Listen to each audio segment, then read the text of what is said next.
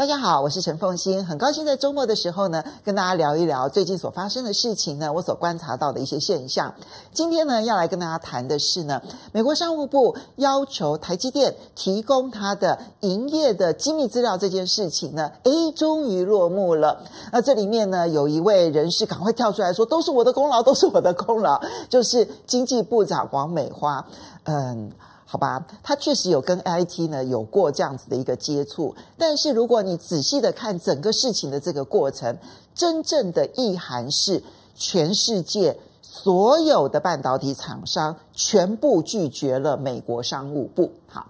那么但是这背后当然其实还有很多，就是半导体产业呢，它所带动的整个的市场的变化，尤其是。汽车用的半导体在未来会如何的加速成长？这件事情现在已经引起了全世界的关注。我们其实要从这个产业趋势呢，来好好为大家剖析。那不过我们前面呢，先来让大家了解，其实，在政治上啊，全世界的半导体产业呢，全部拒绝美国商务部这件事情，是一个很重要的讯号。今天早上呢，其实，在彭博哦，彭博这个国际上面的 Bloomberg 啊，他呢发了一则新闻，那就提到说呢，在上一次的会议当中呢，美国商务部长他列出了二十五项清单哈，然后要求所有的这一个半导体产相关的产业都必须要提供这里面他所列出来的这些问题。好，当时在会议上面说是自愿性质的，但是美国商务部长雷蒙多呢出来接受访问的时候呢，他公开的说。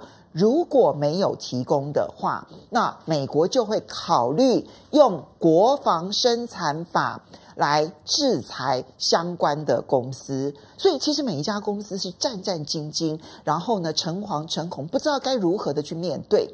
那整个事情引爆呢，是从韩国来引爆的。韩国呢，用一天一家媒体，然后呢，用这个强大的力量，把那里面的细节，因为那是一个秘密会议嘛，哈，除非你参加的叶子，不然没有人知道。那把里面所有的资讯全部都公开了之后呢，然后逼迫着韩国政府，其实在这件事情上面发表了严正声明，然后呢，对美国政府表达了关切。那整个事情。其实就闹大了。那是先从韩国发动了之后呢，于是就传到了台湾。那台湾其实要问说：那韩国神送韩国的这些相关的这些半导体业者，认为这件事情会侵犯他们的营业秘密，对于他们未来可能会在价格谈判上面处于一个劣势这件事情，为什么台积电都没有反应？那台湾为什么都没有反应？那这时候整个的事件呢，才烧到了台湾。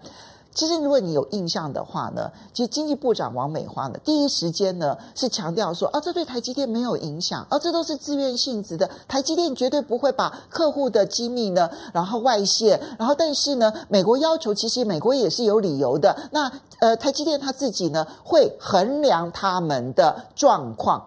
所以其实王美花并没有打算要出面解决这个问题，王美花是说台积电自己会解决，哈。那么整个事件呢，在韩国因为引爆的风潮非常的大，所以呢，激起了到最后呢，变成了对于美国施加了极大的压力，因为它实在太违反自由市场的一个准则了。那美国商务部长的这个话也引发了非常多的挑战。所以你有没有注意到，就是呢？其实美国商务部后来就不断、不断、不断的改口，美国的所有驻外单位就开始强调安抚哈所有的半导体业者，这是自愿性质的，美国绝对不会强迫任何一家公司呢填这些资料。我觉得这个时候呢，所有的厂商就观察到那一个风向，是足以让他们采取一些。抵抗性的行动，我常常形容说，这样子的一个行为呢，叫做集体过马路。你看到所有的半导体业者通通拒绝了美国商务部的时候呢，不会有任何一家就主动的说：“啊，没关系，我可以提供你，不用，因为大家已经集体过马路了。这时候就算是红灯闯红灯，都可以这个法不罚重，那都可以过关了。所以。”不是我们政府的功劳，而是呢这件事情实在太违反自由贸易的一个基本的准则了，引发了众怒之后呢，其实美国必须要吞回去。不过这个台积电的董事长呢，刘德英在接受美国媒体访问的时候呢，他其实提到了汽车晶片这件事情。因为对美国来讲，他们最关心汽车晶片的原因，是因为呢，汽车这个行业啊，对于美国来说，他们是有很特殊的情感的。美国在二十世纪呢整个崛起的过程当中呢，汽车业扮演了非常重要的一个角色。不管是就生产制造，然后呃就业机会的带动啊，或者是后续的能够发展成为全世界的一些跨国产业来说，汽车业是有它的历史象征意义，而且有实质的很多的就业的机会的。所以呢，每一次你会发现，美国呢，如果在对外谈判的时候，他最关心的大概就是两大产业，一个就是农业，另外一个就是汽车业，因为那都反映的就是他们大量的这一个选民的一些需求。好，那汽车业呢？因为汽车晶片而这个缺乏的关系，而必须要停摆停产这件事情，美国高度关注，所以当然会问刘德英有关于汽车晶片的一些事情。那刘德英呢，其实在五月份的时候曾经说过，其实呢，汽车晶片他们已经挪掉了他们很多的产线，然后呢，加速的去供应汽车晶片。他估计第三季其实就可以解决汽车晶片的问题了。但是现在已经十月了，看起来情况还没有真正的被解决，到底怎么一回事？刘德一呢，其实很坦率的说，确实有人在囤货，他没有办法直接告诉这些汽车业者谁在囤货，因为他告诉这些汽车业者说：“你们是我的客户的客户的客户，你们是我的客户的客户的客户。”因为其实台积电的客户是一些 IC 设计业者，然后 IC 设计业者呢，他在出售给。相关的这一些零组件，然后呢，让他们组装成为一些这个嗯半成品，然后最后给美国的汽车业者组装成为一个汽车。所以你看到没有？这整个过程当中，从美国的汽车公司，然后到台积电，中间经过的是 IC 设计公司，然后到这个汽车的重要零组件。然后再到最后才是美国的汽车业者，那中间到底是哪一个环节？是 IC 设计业者呢，还是汽车的零组件去囤货呢？那台积电他没有办法提供这样的资讯。事实上，你怎么问台积电，台积电也没办法查出来到底是谁在囤货。但是他认为确实是有人在囤货。那么为什么要囤货？说穿了就是看好未来。其实以这个 IC 产品来说，它的这个生命周期其实是非常非常短暂的哈。那么每一个这一个 IC 设计出来的这个产品，那你只要一改换了这个设计之后呢，那你旧的设计其实就变成完全无用武之地了。那本来是很高价值的东西，一换了一个代，那它就完全几乎跟废弃品没有什么两样哈。那么，所以呢，为什么会囤货？就是因为看好未来，恐怕还有大量的需求，而汽车的晶片它的换代的速度没有那么样的快。我们在这边其实就要提醒的就是呢，汽车晶片呢，它不是从去年短缺，今年短缺，在未来几年，它可能都会面临这样子严重短缺的压力。不只是因为呢有没有人囤货的问题，也不是因为呢半导体公司不愿意生产，半导体公司愿意接，只要你价格够高，他当然愿意接。虽然它是小量生产，但是呢利润度其实是可以够的。那么也不纯粹是因为有人囤货。真正的原因就是它的需求在未来不是三倍数，不是五倍数，不是十倍数，它可能成长的速度远超过十倍速。为什么呢？因为呢，其实你现在只要你开汽车或者是电动车，你就很清楚的知道，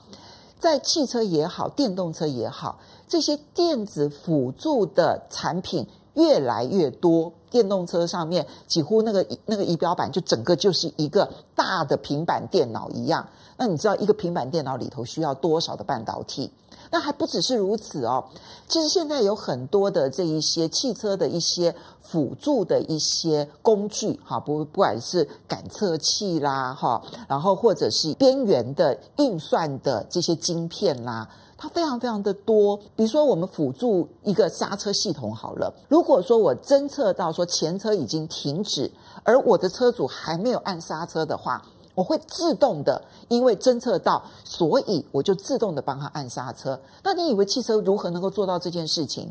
这原因很简单，因为它侦测到了。它凭什么侦测？它用的就是这些半导体的晶片来侦测到，用感测晶片侦测到。接着它就会有很多的这一些其他的晶片，然后呢去指引汽车去做这些动作。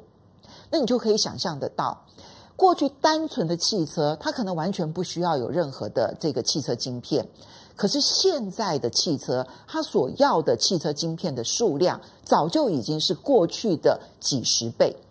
那未来其实只会更多，因为从汽车到电动车，再到自驾车的过程当中，它需要的汽车晶片量是倍数、倍数、倍数的成长。要知道，全世界一年的汽车销售量大概是九千万台，整个半导体产业呢，它其实呢。第一次的大爆发就是 PC 出现，个人电脑出现。当个人电脑出现的时候呢，那可以人手一机的时候呢，它就开始出现了大爆发。好，所以 PC 需要用很大量的这些晶片，它就带动了很大量的这个半导体的成长。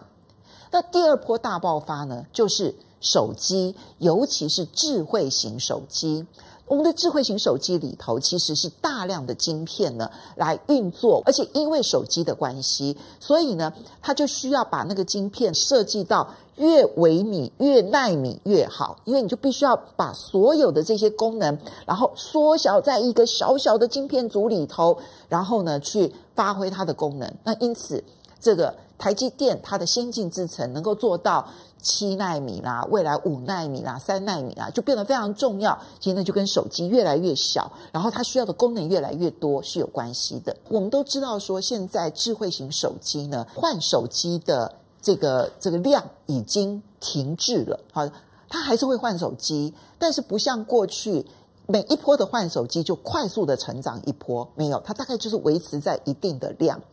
那接下来的大爆发，其实就在汽车晶片。因为我刚刚提到了，汽车其实每一年的销售量其实是相当的高，而且它不是每一台汽车里头只需要一个晶片，不是它可能要上百个，甚至于更多的这些晶片。因此，未来我觉得半导体的那个大幅度的成长，其实就会来自于汽车对于晶片的需求会大幅度的成长。而最近汽车晶片的短缺这个问题，它已经让所有的这些相关公司，包括了汽车公司，包括了汽车零组件公司，包括了 IC 设计公司以及半导体公司，都注意到了，就是汽车晶片大爆发这件事情。那它会产生什么样的后续效应呢？第一个很重要的一个效应啊，其实就是所谓的第三代半导体的需求会大爆发，因为呢，嗯，第三代半导体像这个碳化系啊，它的这个呃速度特别的快哈，然后呢，同时又耐高温，它的这一个特性，使得它在汽车上面使用变得最好用。如果说我们讲说一个产业有这样子，呃，幼稚园啦，这个小学啦，中学这样子一个阶段，它现在启动它最多只有到小学这样的阶段，好，就是它的各方面的材料科学啦，各方面的这一个发展呢，其实都还在初步阶段。那你可以想象，它未来那个整个大的那个空间呢，其实不只是。需求的空间很大，就连供给自己本身学习成长的空间都非常非常的大。好，所以第一个是第三代半导体呢，它势必会快速的，然后呢大量的，然后这个成长。那看谁的技术跑在前面，谁就会是赢家。这个技术主要是在材料上面这部分的技术，还有制程上面这样子的一些技术。所以这个部分它会变成未来一个很大的一个。呃，商机。然后第二个部分呢，它当然会让所有的半导体产业更重视汽车晶片的这一部分的需求。它的需求跟手机的需求，它有很大的不同。它必须要去调整它的制程。这一波的短缺，刚好可以让所有的半导体厂做一次演习。演习我到底未来如果要跨到汽车晶片的大事业的时候，我到底应该要做哪一些事情？